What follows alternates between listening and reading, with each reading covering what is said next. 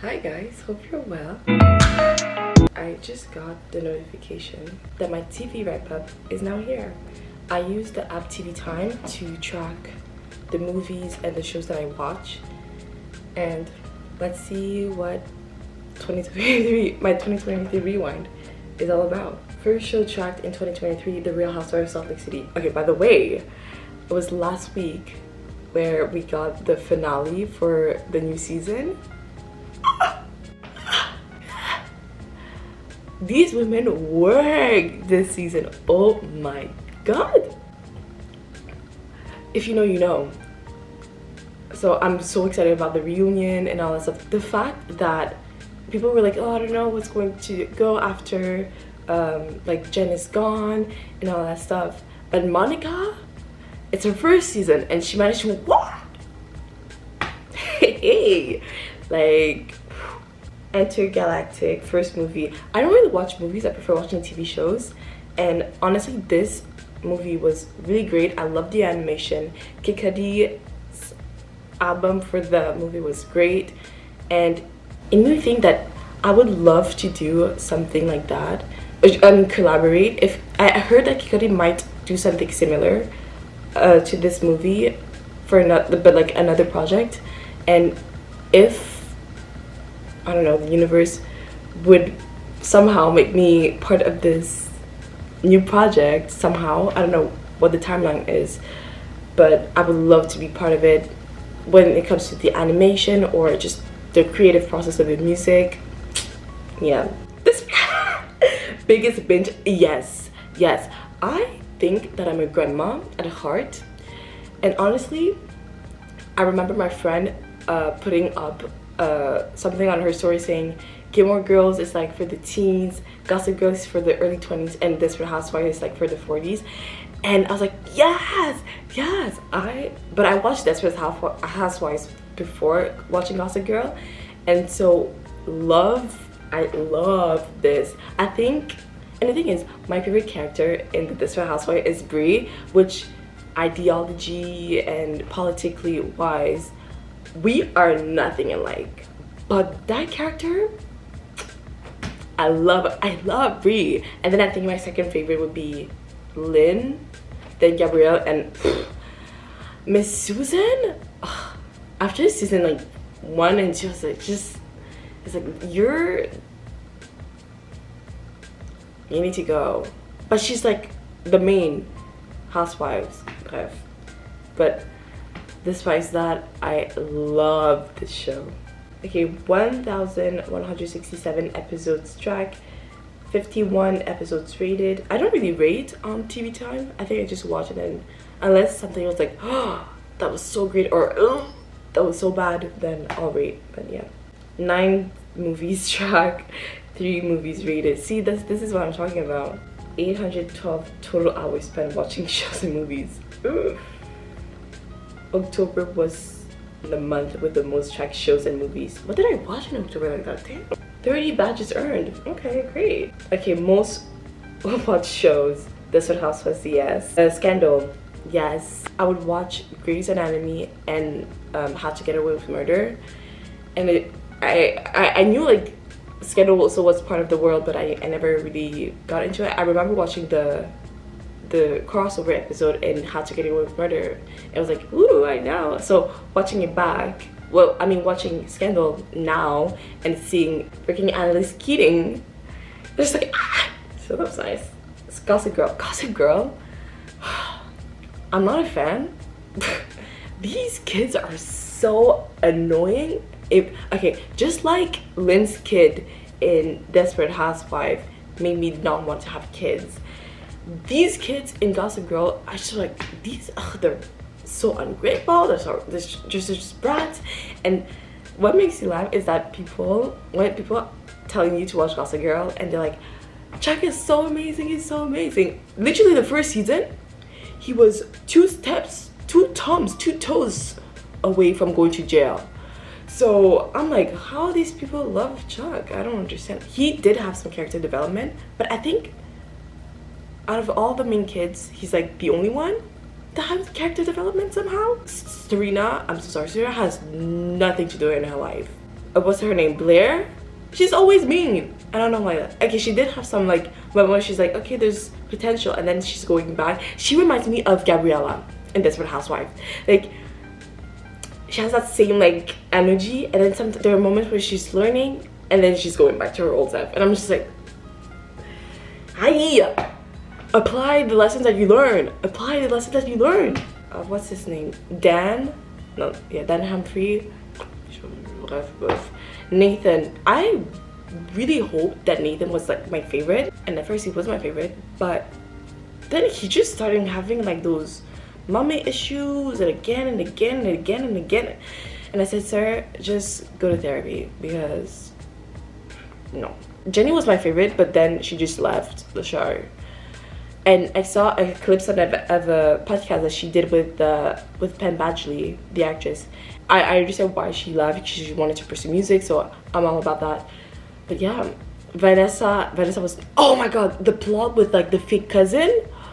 Oh, son of shit! Like, ugh, it went on for way too long. And there were so many plot holes. And also, did they all graduate uni? Yeah, I don't know. Okay, Empire, yes. And the thing is, Empire was really good, and then it just the last. Let's not talk about the last season. And from what I've heard, the last season was made during the whole scandal. We know we know what happened, but from what I've I've seen uh, I've seen online someone say that uh, what's it called? They had a, a, a specific plot coming in, and then they had to change because the actor, and so the way that they changed the whole storyline for season three, the last season was just I was so disappointed because there were so many plot holes and all that stuff. Yeah, and the songs in the, the show are really good. So I'm like, drip, job, drip, drip, drip, job, drip, job. Or always like bang, bang, bang, eh, bang, bang, bang. Oh yeah. The songs were good. The songs were good. Oh, and the first song uh, in season one, episode one. Okay, bro, I can't even see. What show is this? Okay, so I can tab actually. Ugly Betty, yes, Ugly Betty was such a fun show to watch. I had this phase of watching old shows and all that stuff. Okay, that show had character development. Amanda had character development. Was it Marcus?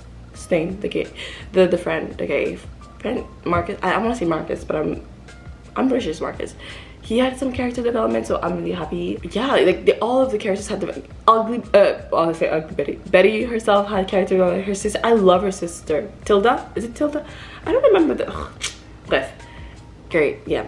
Uh and honestly okay here's the thing. I understand that this show was like early 2000 2010 but now and this is a PSA for any creators who's doing shows now if there's a guy and a girl they can be friends. You don't have to be something romantic. Please. For the life of me please. Stop. And i like the ending. Yeah i really do. Like it was a good show. Oh my god. Here's the thing. Betty and joe? Okay. But betty and harry? But then harry had this mm -mm. so you know okay number six jojo. Here's the thing. Do you know how i, I watch animes here and there? And my brother my little brother, he said, I mean, watch, watch JoJo, watch JoJo. I'm like, okay, sure, fine, great. So I'm watching JoJo. And I watched the last part, which is in the in the prison. I had a feeling that someone was going to die. So I asked my brother, hey, please tell me who's going to die. So I don't have to get too attached. And my brother said, no, keep watching the show. It's good, it's good. I know it's good, but just tell me who's going to die because I have a feeling that someone's going to die. I'm not talking to my brother anymore about this fucking show because he's so rude. He. Okay, number seven, Abbott Elementary. And the new season's coming up soon, so. Oh my god. Ah, oh, so. It's such a wholesome show. Speaking of other wholesome, Ted Lasso. Do you know what? I think it was great that they only did three seasons because you know there are shows like Empire, it was good, and then it's just something like same thing. I want to say also Desperate Housewife. I think at some point it just got a bit too long. But yeah, um, and it, oh, here's the thing too. People are starting on TV time. People were like, "Oh my god, I shipped Ted and Hannah." I was like, is it Hannah? Hannah is the name of the actress. People were like, oh, I ship them together. I'm like, no, stop, stop, stop. They're just friends. I want them to remain friends. Only murders in the building. Also, great show. It's so funny. And then Grey's Anatomy. At this point, I don't even remember what happened. Oh, wait, I don't remember. At, at, oh, yeah. I just hope the show is almost done. I've heard some people say, oh, I stopped I stopped watching the show after this person left the, the show. I'm like, oh, I understand. But I, I really want to see the evolution. Oh my god, also Maggie just got unbearable to watch. I, I just remember that or um, I, I need, okay, Amelia, I just need to take Amelia and just get her some sense. I can show her life. I think she's, I don't think she's distracted, but I'm just like,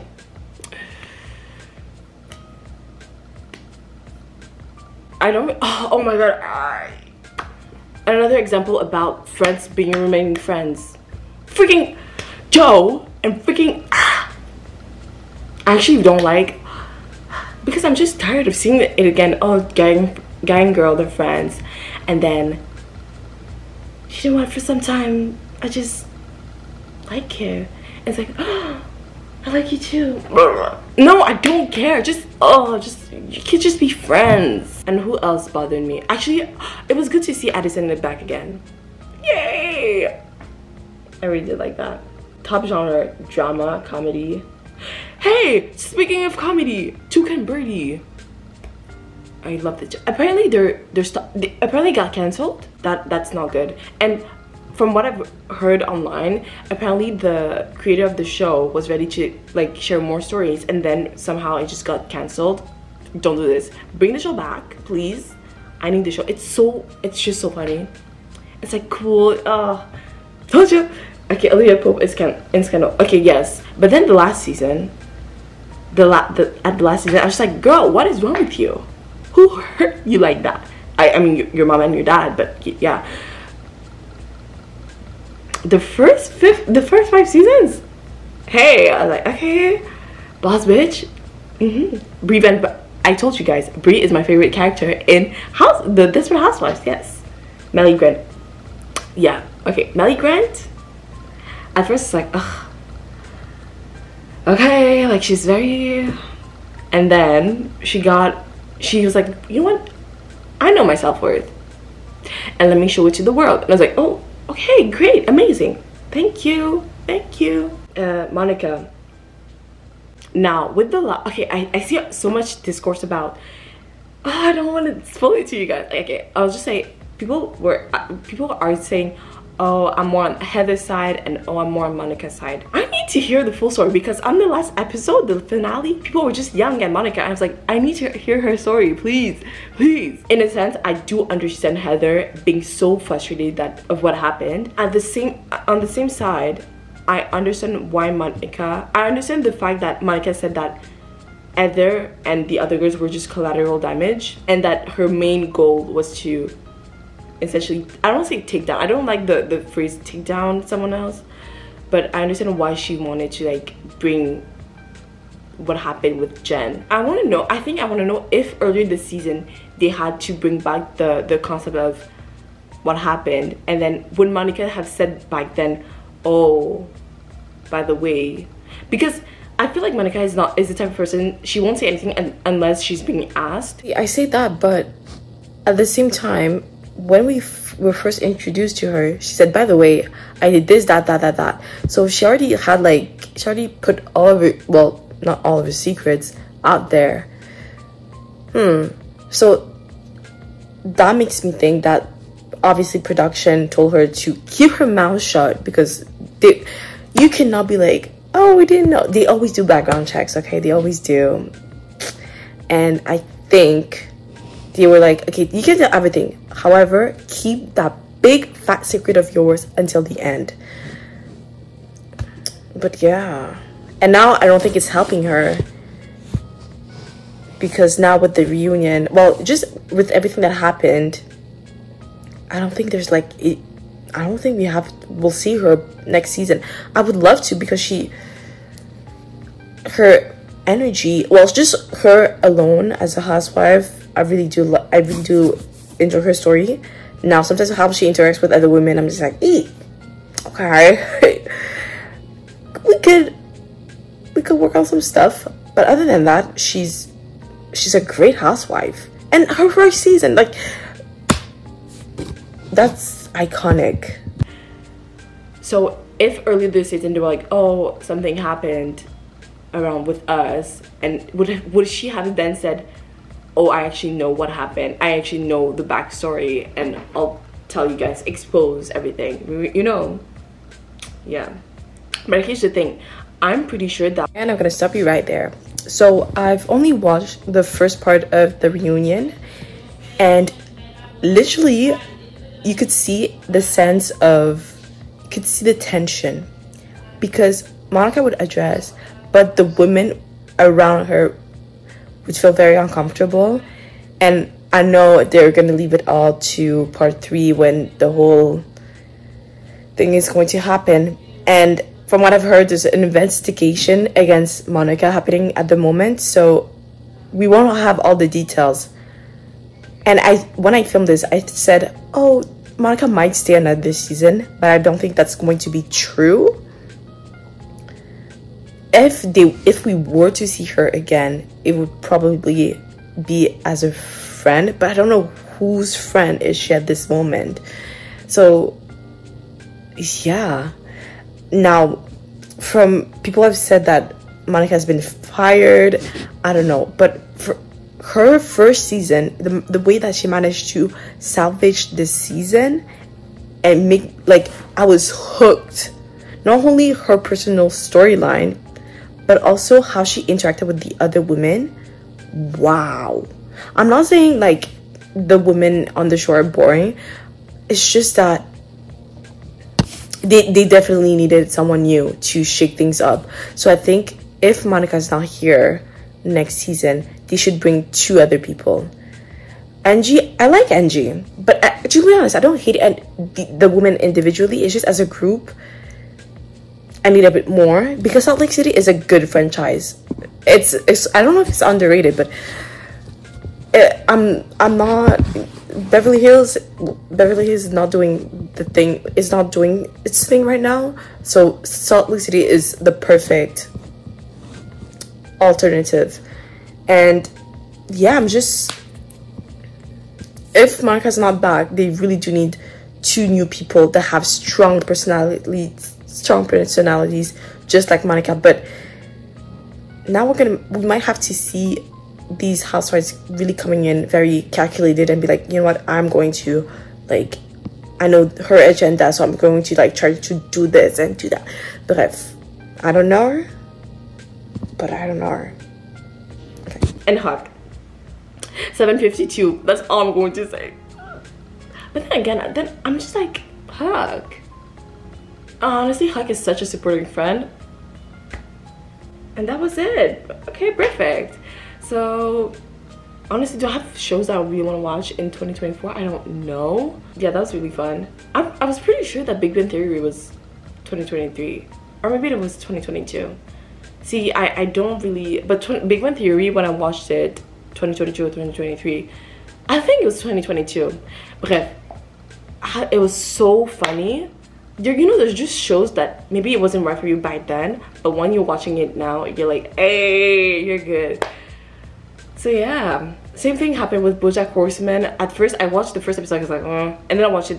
I think one year after or two years, and I was like, wow, one of the best shows. I'm also watching this because yesterday or the day before there was the Golden Globes, so everything's coming. It's like it's literally what's it called, gala season. I'm essentially done editing for the first part, but I want to take a little quick fire shot of the series that I've watched in 2023 that I've really enjoyed or some that I've really hated. So, Ginny Georgia, mm, Tuca & Bertie, I really want something to like a revival. Gossip Girl, the reboot.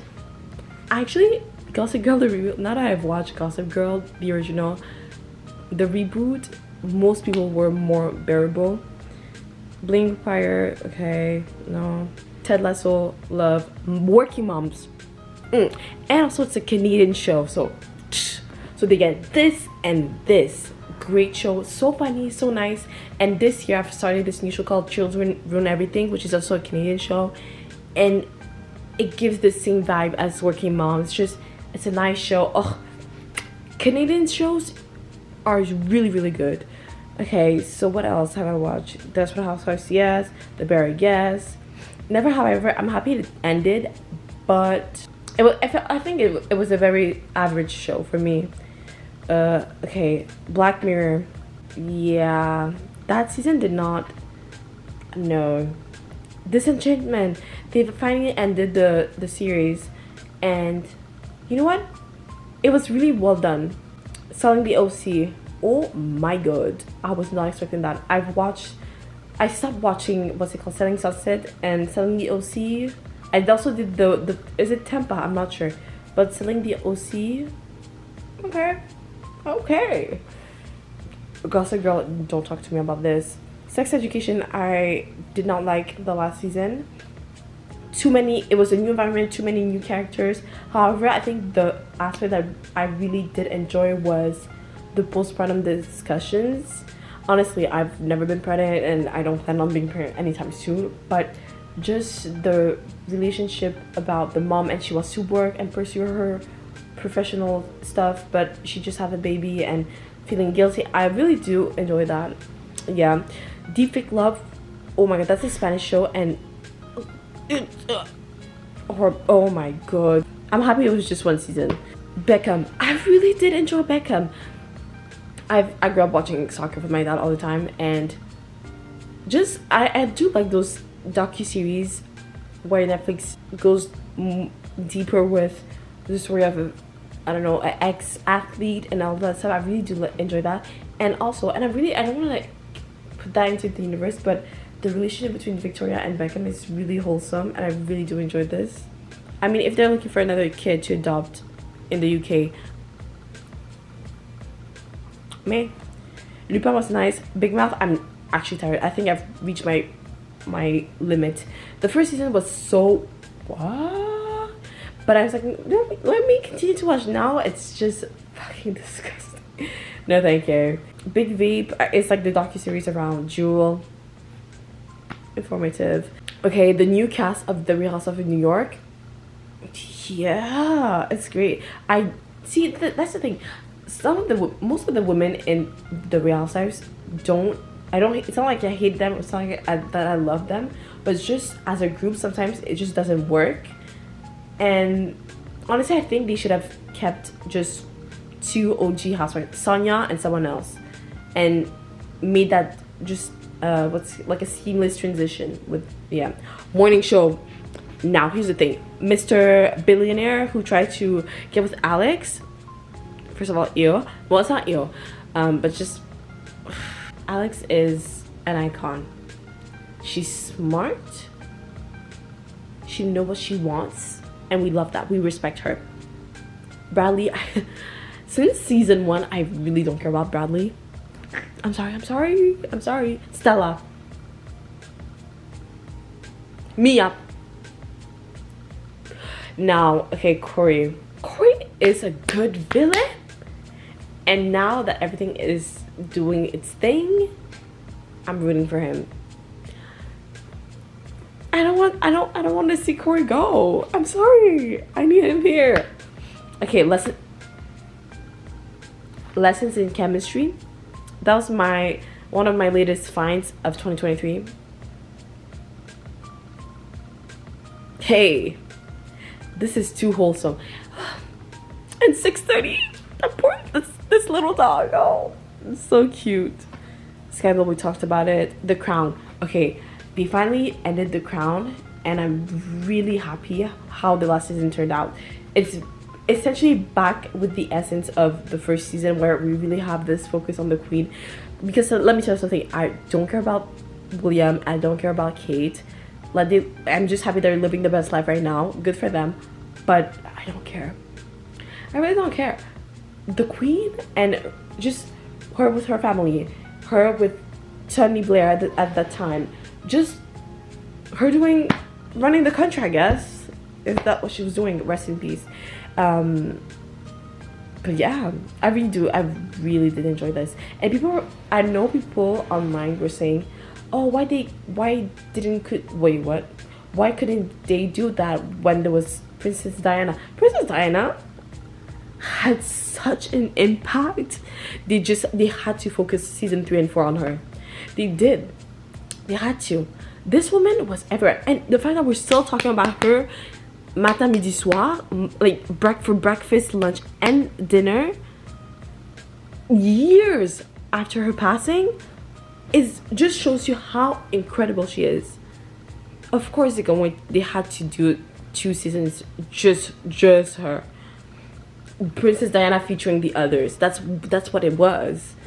But honestly, the last two seasons I'm really and I really I think my favorite episode in the last season was um the flashback between Princess Margaret and the Queen Elizabeth.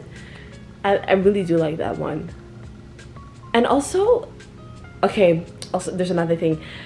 People didn't like the fact that Charles was had a redemption arc and honestly the best way that they could do it was to show how we we because at this point I don't care about him and Camilla. I don't care.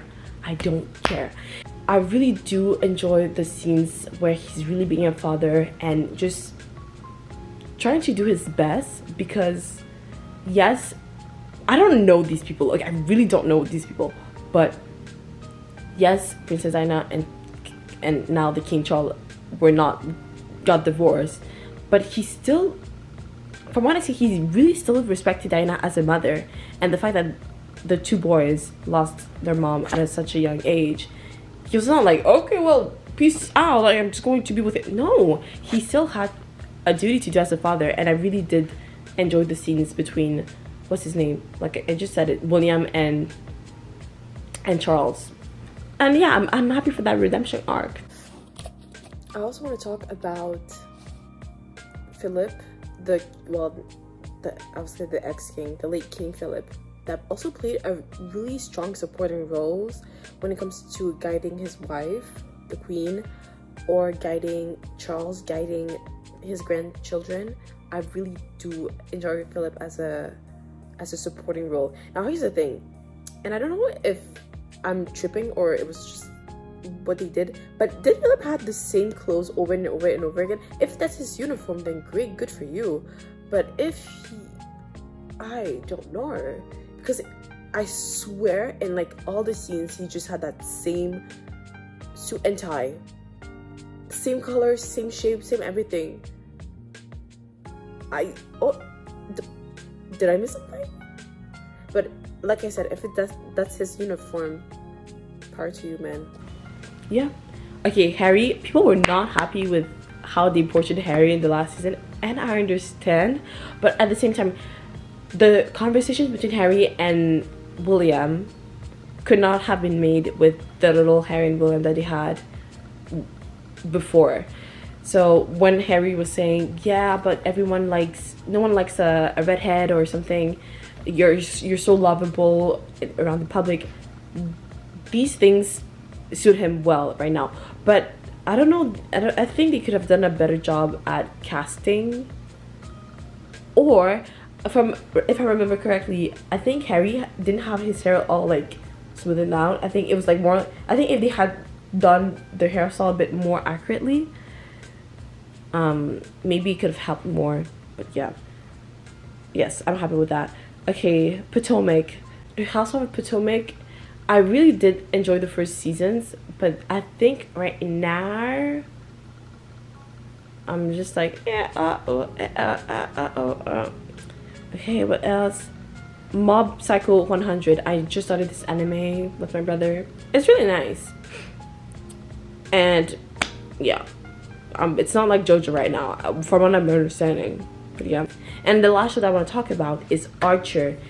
Be because they have finally ended the show and it feels right because it, I understand why they would end the show. The one of the main characters, the actress passed passed away a couple years ago, let's say.